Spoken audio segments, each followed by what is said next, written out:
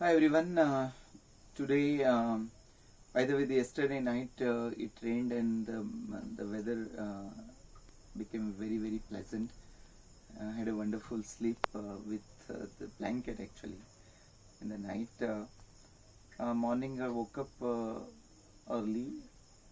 Fortunately, thankfully early because normally I was last three four days I was really getting late, uh, seven thirty eight. But today around six thirty I woke up had a walk little bit around uh, started uh, reading and learning little bit my bengali.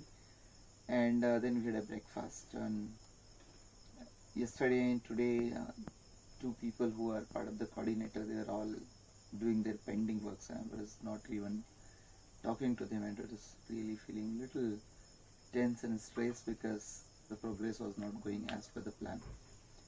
Well uh, today is also the supposed to be the off day, Thursday, but um, the uh, coordinator has fixed two programs. Uh, one was in my attention, other was not it also. I decided that I will, no matter what, I will not do a second program. So even if he requested a lot, but last four months we have been trying to keep uh, Thursday free and Sunday free, but it never happens. Finally, I forcefully did only one program and other program we let it go. The program today was in uh, Government Science College, so we came here. The bus could not come inside uh, initially because of the slope, but somehow they managed. The program was uh, very well organized uh, by the institute.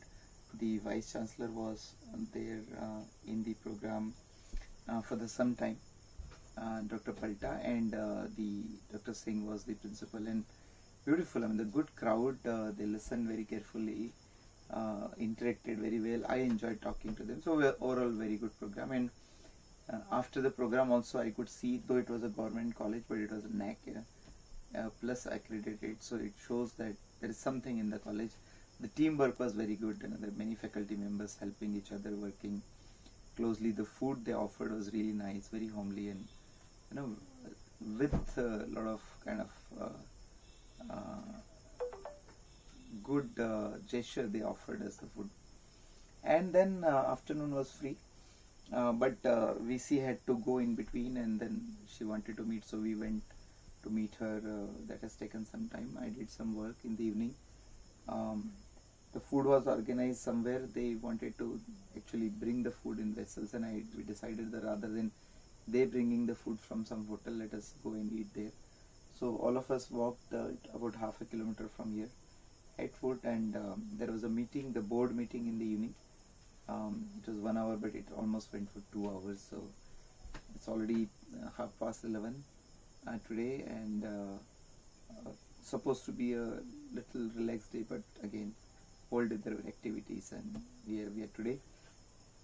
Tomorrow we are moving to Jamshedpur for a new day, and tomorrow we are moving to Bilaspur uh, there's only one program planned so that's it from today and a lot of things are happening. I'll keep you updated uh, what is happening in the other so see you next time tomorrow